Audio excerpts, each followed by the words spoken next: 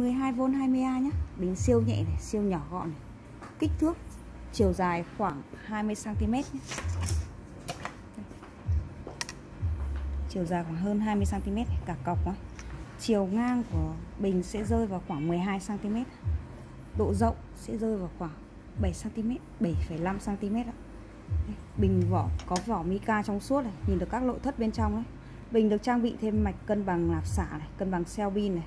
đây, bên trong em đang dùng dòng pin là 33140 nhé Bình có dòng xả mắc là 100A Dòng xả tối ưu sẽ là 50A Điện áp nạp mắc sẽ là 14.6 Tối ưu là 14.4 Đây bên em sẽ bây giờ hiện tại em sẽ tiến hành test trên kích điện 12V 1000W Dùng cho bóng đèn ạ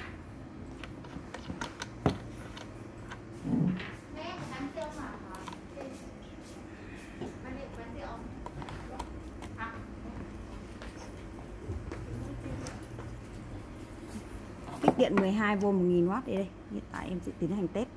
trên bình 12V 20A nhé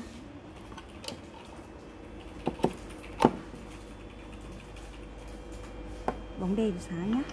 đây. combo sẽ bao gồm có một sạc nhanh 12V 10A nhé Bình 12V 20A dùng cho lưu trữ cửa cuốn này, camera wifi này, bóng đèn sắp sáng này,